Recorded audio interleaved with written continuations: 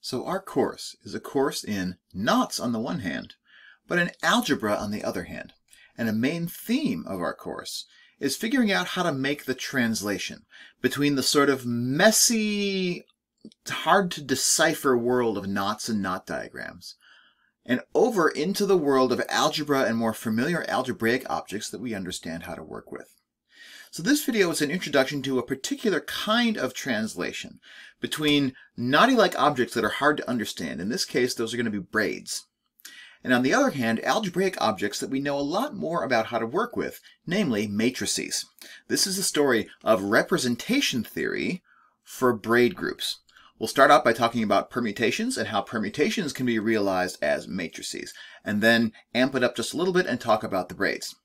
And then we want to answer the all-important question, how good of a representation are these matrices of the algebra of the braids that they represent? Can they always detect a difference between two braids that are in fact different? That's what this combination of two videos is going to try to do. Let's begin with the motivation of the six-letter anagram that turns the word ladies into the word sailed. We're going to start by thinking of it as a permutation on six symbols.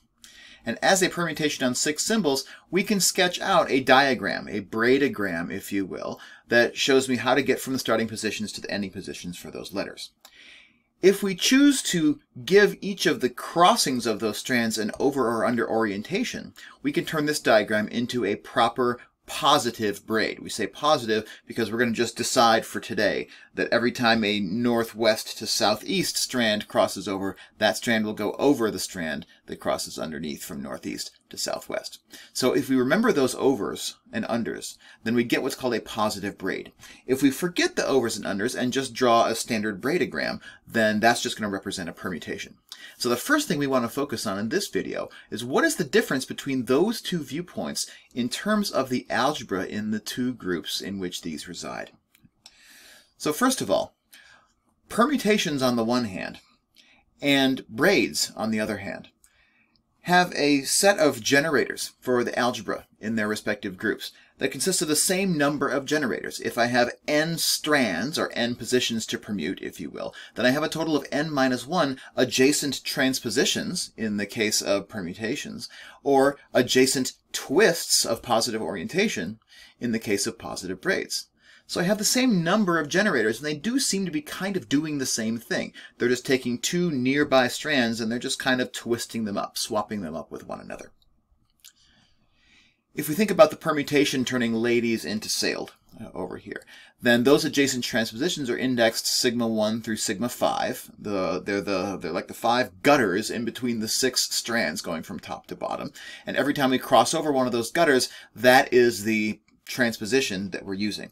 So for example, if we read this from top to bottom, we're crossing over the third gutter and then the fifth and then the fourth and so on down the line.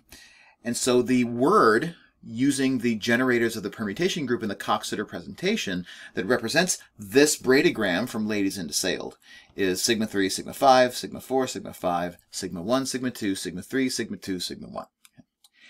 And because my diagram is exactly the same over here in Braidland, it just happens to have over and under crossings here with the northwest to southeast always passing over the northeast to southwest strand, giving us what's called the positive orientation at each of those crossings. But the, the crossings are arranged in the same order for my braid as they were for this permutation. So I'm trying to make as much about these two diagrams look almost the same as we can so that we can really spot those differences in viewpoint when they arise. So the braid word that I'm using to describe this braid over here on the right, and the braidogram or permutation word that I'm using to describe this permutation on the left are exactly the same word because we've used the same alphabet of generators in both cases, and we've arranged them in the same order. So if I want to understand the algebra in these two settings, uh, using objects that are more familiar to work with, one of the most powerful kinds of algebraic object that we learn how to work with in the math curriculum are matrices or linear transformations. So in linear algebra, we learn how matrices can be used to represent transformations of vector spaces. And when we multiply those matrices together, we get compositions of the resulting linear transformations one with another. Um, and it's a really, really powerful set of tools. So anytime we can live in matrix land, we can do a lot. So what we'll do today is talk about representations. And representations are nothing more than ways of assigning a matrix to each element of a group in a particular way so that those matrices capture some of the behavior and the interactions of the elements of that group. So it's a bunch of matrices that sort of walk and talk like the elements of the group did. So as an example, if I just take this very first permutation that's happening, this very first transposition on the way from ladies down to sailed. I'm trading the uh, the third strand with the fourth strand. It's the move called sigma 3. And in the word ladies, it's swapping the D with the I. How could I represent that using some kind of simple matrix operation? Well, this looks an awful lot like in the xy plane. If I'm going to reflect the xy plane over the line, y equals x, the diagonal line. When I reflect over the diagonal line y equals x, the effect is that the x coordinate and the y coordinate of my ordered pairs just flip-flop. And that's exactly what looks like is happening here. The d and the i are just trading places. So it takes xy and turns it into yx. We can represent that by multiplication by the matrix 0, 1, 1, 0. Check that if I do this multiplication, across the row and down the column. 0, 1 dotted with di is going to give me i. 1, 0 dotted with di is going to give me d. So that matrix, 0, 1, 1, 0, is the secret sauce. It, it is what tells me take my two coordinates and just flip-flop them. So that little 2 by 2 matrix is going to be the building block of representations for my permutation group. How do I put it into context? How do I tell, for example, that it's actually the third and the fourth strands that I want to swap and not the first and second or the fifth and sixth or whatever?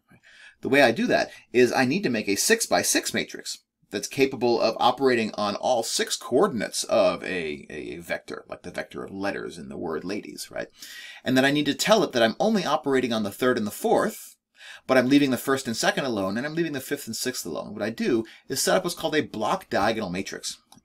So this block diagonal matrix is made up of zeros everywhere except along this main diagonal.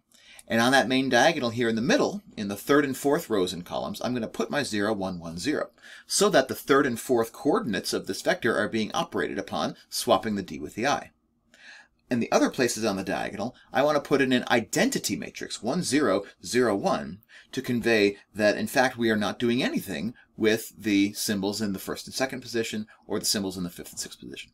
So this new 6 by 6 matrix, we have zeros everywhere that I've left blank, is a block diagonal matrix that can represent the transposition of the third and fourth position in this anagram while leaving all the other positions alone. So that will be the 6 by 6 matrix that we will use to try and represent sigma 3, that swap of the third position with the fourth position in the permutation group. Let's check and see whether that really does sort of walk and talk and quack like the element sigma 3 does inside of the permutation group. First, let's check that the order is correct. Every generator of a permutation group has order 2. After all, it's just a transposition. When I do a transposition of adjacent strands once and then do it again, I end up exactly back where I started. So this matrix that I write down to represent sigma 3, this matrix should also have order 2. If I multiply this matrix by itself, I should get an identity matrix. And indeed, even just by looking at the little block that's generating this transposition on the diagonal, if I square that matrix, multiply it by itself, you can check that we do indeed get an identity matrix. So sigma 3 times sigma 3 gives me the identity uh, uh, element in my group. And at the level of the matrices, the matrices I'm using to represent sigma 3 also multiply to the identity matrix when I multiply them by themselves once. Right? So they are order 2 as well. So this matrix does behave just like sigma 3 does at the level of order. We can also check that the rest of the relations which define the Coxeter presentation of permutation groups are also satisfied by the matrices which I create using this block diagonal strategy of putting my swapping matrix 0, 1, 1, 0 in the appropriate place along my block diagonal with identity matrices everywhere and zeros everywhere else. You can check that the disjoint strand relations hold for those and that the skein relations for adjacent transpositions also hold. And so if you believe all of that, then it means that I should be able to build a 6 by 6 matrix just by taking the 6 by 6 matrices we get from each of these generators and just multiplying them all together. For example, sigma 3 is given by this red matrix in this representation. Sigma 5 is given by this green matrix, so I put the, the swapping block down here in the fifth and sixth rows and columns which aligns with what we wanted in the diagram, right? And if I multiply those two together, I'm going to get a matrix that looks like this. That's going to represent the product of sigma 3 with sigma 5. If I keep going and I multiply all of these things together, I'm going to get one giant matrix, which in this example is just going to have a bunch of ones and zeros in it. And that matrix, we think, is going to be a perfect representation of what this permutation accomplishes as an element of the permutation group.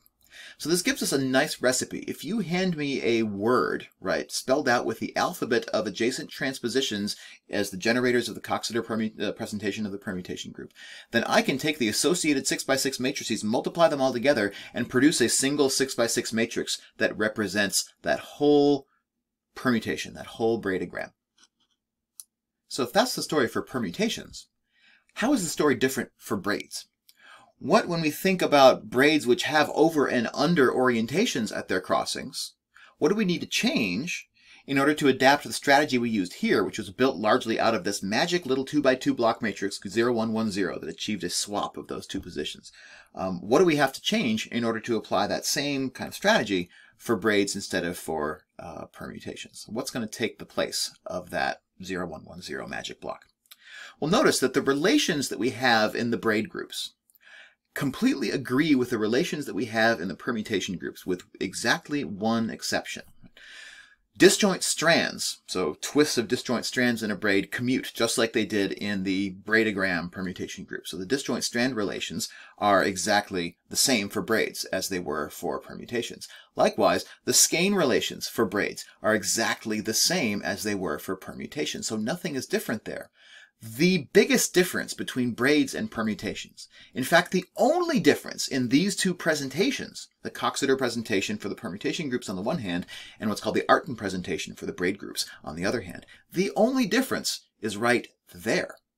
The difference is that whereas the permutations transposition elements had order 2, if I transpose once and then I transpose again, I get back to the identity.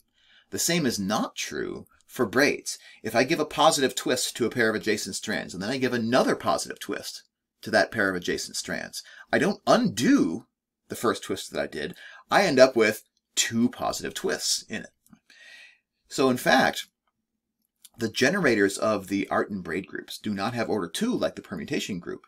Rather, they have infinite order. I can keep on twisting and twisting and twisting and twisting and twisting and twisting, and I'm never going to undo that twist just by continuing to twist in the same positive orientation. That is the important difference between these two groups.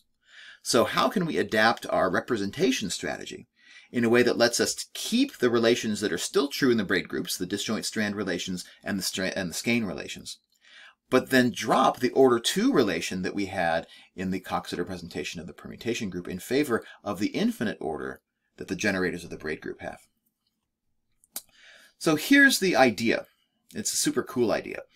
Um, and the idea is as follows. We start with the permutation viewpoint, right? That matrix, that little block, 0110. What does it do? Well, I want to introduce you to a, a, a character whose name is Vaughan Jones. He's right behind me here. Um, Vaughan Jones was a mathematician um, who we just lost this year uh, in the year 2020. He's also a Fields medalist. Uh, he was the recipient of mathematics top prize uh, in our field for, in large part, for the work that he did uh, on knot theory and an algebra. Um, and so Vaughan Jones sort of formulates this process we're about to do like this. If we think about this swapping matrix, 0, 1, 1, 0, what does it do? Well, imagine I'm bowling a bowling ball down the bowling alley and I sort of do a bad job like my five year old twins do when they go bowling and they throw the ball and it sort of goes over to the other lane that's next to us, right? In the original viewpoint, that swap happens with 100% probability, right? So when, when my bowling ball goes across the lane, it absolutely ends up in the other lane. So with 100% probability, it switches lanes in the permutation viewpoint, right? And with 0% probability, it stays in the same lane once it tries to, to cross over to the lane that's adjacent to it, right? So what we'll do in order to get us to the braids viewpoint is we'll just tweak this a little bit. And instead of saying that for sure my bowling ball is going to switch lanes when it's, you know, when it hits the gutter on that side, we instead assign a probability to its switching lanes probability that could be a number between 0 and 1. So maybe it's 1 for 100%, maybe it's 0, it doesn't switch lanes at all, maybe it's something in between. So we call that probability a variable, we call it t. And so we say every time we encounter one of these positive crossings, we're saying there's a t times 100% chance that the bowling ball is going to skip over into the next lane. And there's a 100 minus t percent chance that it's actually going to rebound back into the lane that it started in. So what that does is it sort of tweaks my matrix. Whereas it started as 0 and 1 in the top row, I've replaced it with expressions, 1 minus t and t, which when t is equal to 1, this just gives me my original swapping matrix. You know, so surely my bowling ball switches lanes when it when it gets thrown over into the gutter, right? Um, but also now provides for some variation, right? So if t is not equal to 1, um, then this matrix isn't exactly the same as the swapping matrix that we had over here. So that's Vaughan Jones' bowling ball metaphor uh, for how all this works. And again, anytime we want to get from braid land into permutation land, all we need to do is just replace the value of t by the number 1. And we're back into the land of, of permutations instead of braids. So that's always a way that we can get back home after we have pushed this envelope. So we're going to take this matrix, 1 minus t, t, 1, 0. This is going to be my building block. So if I want to build a matrix representing this braid word, what I'm going to do is just use that same strategy we did before, but using this 2 by 2 block that now has variables in it to start building my matrices. Sigma 3 is going to look like that. Sigma 3 times sigma 5 is going to look like that with a block in the fifth and sixth columns and rows, and so on and so forth. Sigma 4 is going to have that block in the fourth and fifth columns and rows. And so if I go through and I do that whole gigantic matrix product, I'm going to get a 6 by 6 matrix. And that 6 by 6 matrix is going to have a bunch of what turn out to be polynomial expressions in the variable t in all of its entries. And the reason that we have polynomials here is that we have a positive braid. We never had to use the inverse of any of my braid generators, but in general, if I had a crossing going the other way, like northeast to southwest over south uh, east to northwest, um, then I would have a inverse of one of these matrices, and I could potentially have not just a polynomial with t's in it, but I could also have a polynomial that included negative powers of t in it. So they're called Laurent polynomials. Um, so the entries in this matrix are not necessarily always going to have a positive degree. They can have positive degree and negative degree terms in them, um, but they have they look like polynomials in the variable t. And so I get a matrix here that we claim then represents this braid word. And so all of the generators, all the matrices, the 6 by 6 matrices with uh, Laurent polynomials and T living inside of them, um, that represent these generators are still going to satisfy the same relations, the disjoint strand and skein relations, that the generators in the Coxeter representation of the permutation groups did. But the difference now is that these generators now have infinite order. You can check, for example, that if I take this 2 by 2 matrix and I multiply it by itself, I don't get back to identity matrix. I in fact get a matrix that has even higher degree polynomials in T in it. Every time I multiply this matrix by itself again, the degrees of the polynomials inside ratchet up and up and up and up. And so we never arrive at this place where we suddenly collapse back down to the identity matrix. So this representation of the braid groups is called the Burau representation. And the Burau representation is going to be the way that we're going to hang on to for representing braids as we go forward. So in the next video, I want to shift gears and ask just how good of a representation is the Burau representation? Do these 6 by 6 matrices, for example, that we could create to represent elements of the braid group on six strands, do they capture everything that's important about the algebraic structure of that braid group? Can we trust the story that the matrices are telling us? And that's what we'll look at in the next video.